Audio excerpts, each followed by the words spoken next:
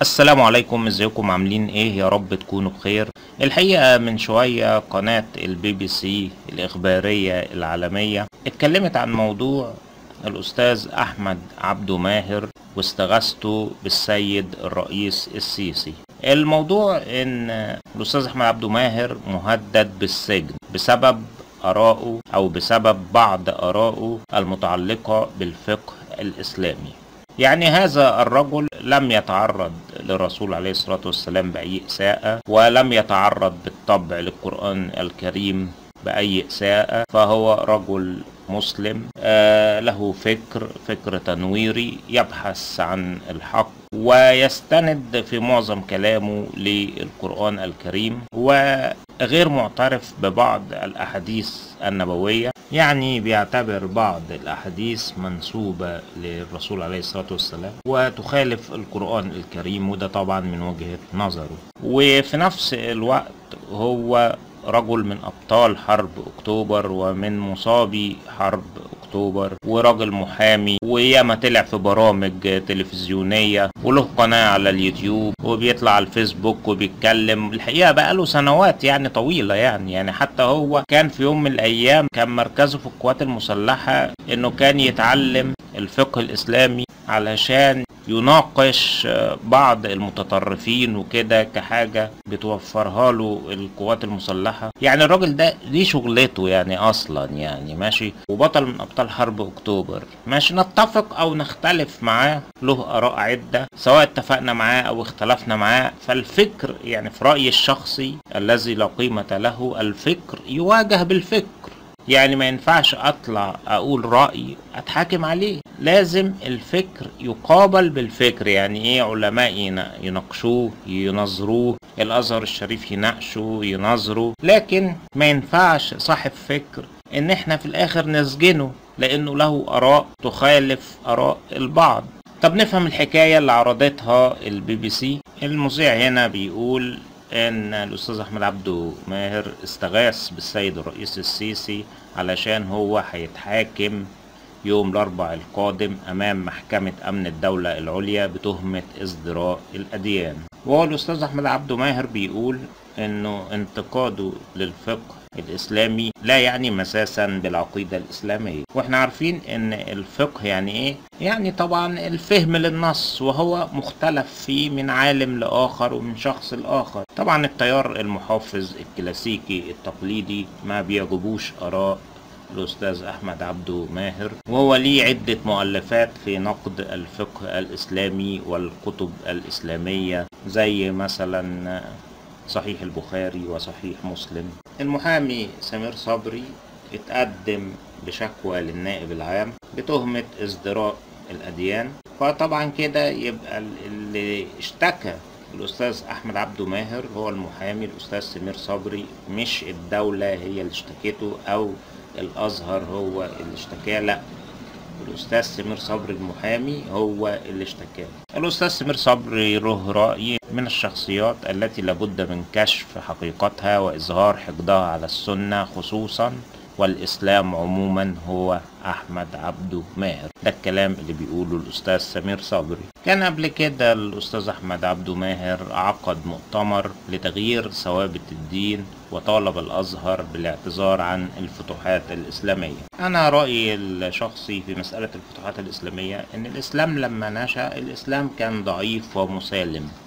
اللي حواليه أعداء الإسلام هم اللي كانوا بيقاتلوا المسلمين فكان لازم المسلمين يدافعوا عن نفسهم. ولو نتذكر في الأمم السابقة كان في الفرس والروم. كانوا أعظم قوتين في الأرض. دول لن يسمحوا لنشأة الإسلام ولن يسمحوا بانتشار الإسلام. فكانوا بيحاربوا الإسلام. فكان يجب على الإسلام إنه يهب للدفاع عن نفسه. يعني حتى في القرآن الكريم وقاتلوا في سبيل الله الذين يقاتلونكم ولا تعتدوا إن الله لا يحب المعتدين. يبقى كأن إنك بتقاتل بتدافع عن نفسك ولا تعتدي. طبعا في الفقه بقى الإسلامي البعض بياخدوا بحاجة اسمها ناسخ ومنسوخ ويقول لك الآية دي منسوخة بآية أخرى يعني حكمها تغير. النسخ يعني حكم الآية تغير بآية أخرى.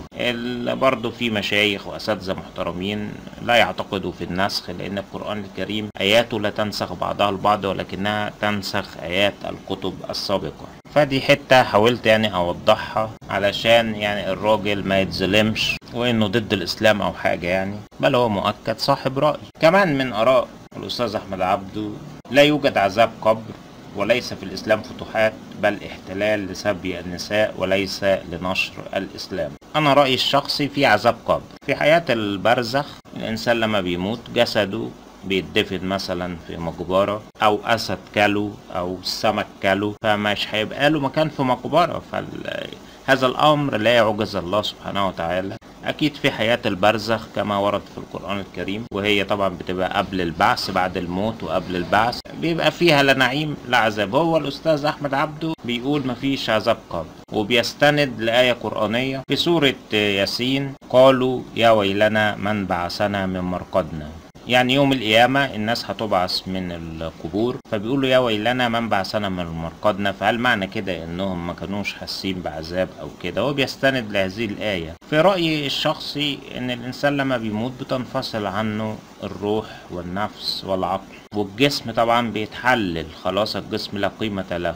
لما بيحصل البعث في الآخرة الإنسان بينشأ نشأة أخرى وبيتجمع بقى كجسم وكروح ونفس وعقل في هيئة جديدة. فطبعا الأعمال وحشة. لازم أكيد هيقول يا ويلنا من بعثنا من مرقدنا. يعني كأن العذاب البرزخي أو عذاب القبر. كأنه مثلا كابوس كأنه كان في كابوس زي الحلم كده المزعج. والمنعم مثلا بيبقى حاسس كأنه في حلم كويس. لكن التصاق بقى الجسد والنشأة الجديدة مع الروح والنفس والعقل ده اللي هيخلي طبعا يا ويلنا من بعثنا من مرقدنا. فهو بيستند للآية دي. أنا بختلف معاه برضو في إن في عذاب قبر أو عذاب برزخي بمعنى أدق.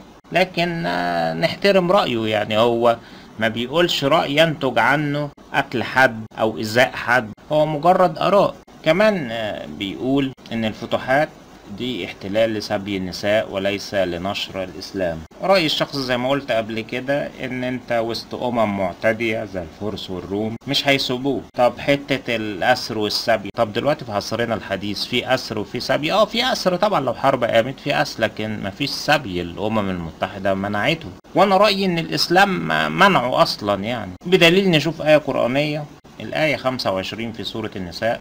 يبقى ملك اليمين هنا الزواج بإذن أهلهن وبالأجر يعني بالمهر يبقى فيه مهر وبالمعروف يعني مفيش غصب ولا اغتصاب محصنات غير مسافحات يبقى من غير زنا ولا متخذات أخدان يعني إيه؟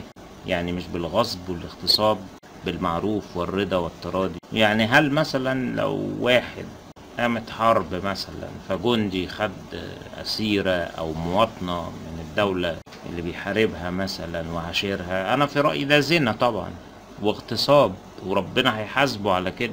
هل دلوقتي يقدر شيخ من الأزهر يطلع يقول لك خد سبايا أو يجوز لك أن تطأ الأسيرة أو اللي تحت إيدك لو قامت حرب أو حاجة زي كده؟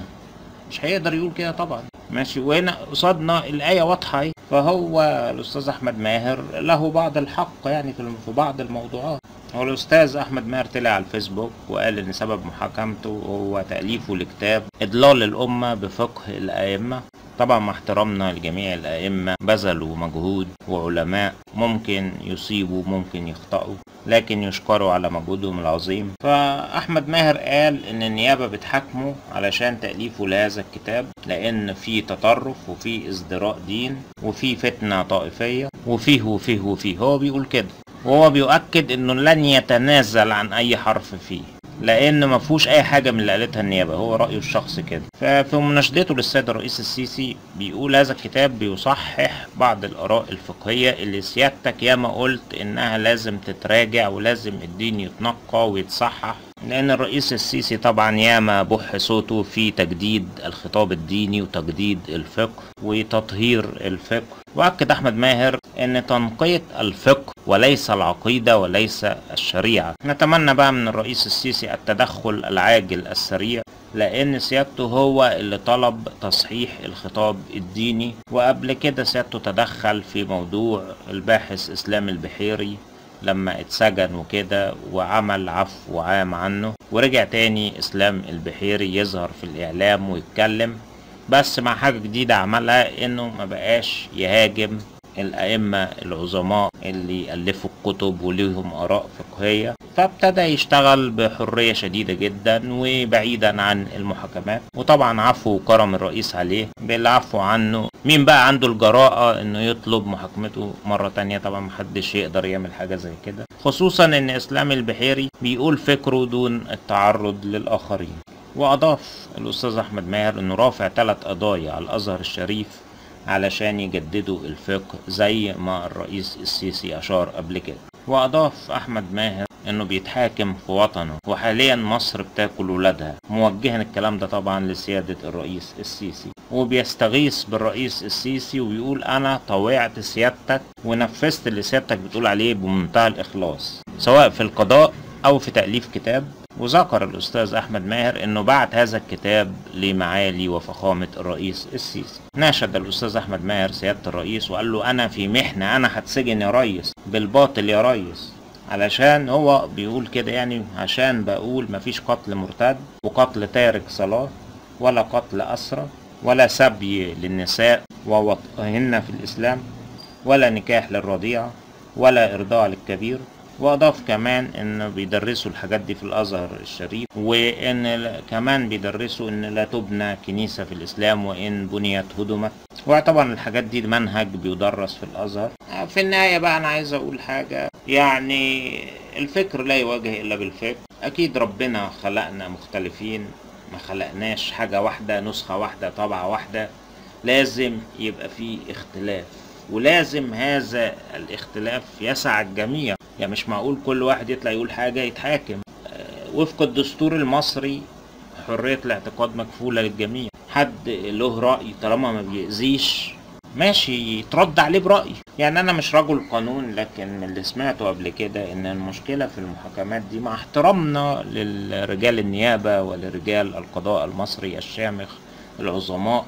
بيبقى طبعا بيجي مثلا تقرير بيطلبوا تقرير من الأزهر الشريف يرد. فطبعا الأزهر الشريف ما بيعجبوش كلام المعاصرين فبيجي التقرير ضد الكلام اللي بيتقال ده. وده شيء طبيعي لأن ده منهج عندهم في الأزهر الشريف ومتمسكين بالفقه القديم الثابت اللي ما بيتغيرش وما بيجددوش الفقه زي ما طلب الرئيس. فبيجي تقرير الأزهر الشريف أكيد سوف يدين الأستاذ أحمد عبده ماهر. فلما يبقى القاضي قصاده الورق دوت يعني يبقى إيه الحل يعني؟ الأمل في الله وفي القضاء العادل إن كل واحد صاحب فكر وصاحب رأي المفروض يناقش ويترد عليه بالفكر وبالآراء وطبعا ممكن السيد الرئيس في حاجات مشابهة تدخل قبل كده وخاصة إن السيد الرئيس هو صاحب فكرة تجديد الخطاب الديني وتصحيح الفقه وعايز الحاجة تتطور للأفضل. لكن طبعا إحنا ما بنتكلمش في العقائد. وخصوصا لو الكلام ما بيمسش حاجة في العقيدة الإسلامية. وأكيد الأستاذ أحمد عبده ماهر بيحترم الرسول عليه الصلاة والسلام وبيحترم القرآن الكريم والرجل يشهد بأن لا إله إلا الله محمد رسول الله فهو شخص مسلم لا يزدري الإسلام. ده في رأيي الشخصي يعني لا يزدري الإسلام. ولكنه له بعض الآراء تخالف آراء العلماء السابقين. شكرا لكم والسلام عليكم ورحمة الله.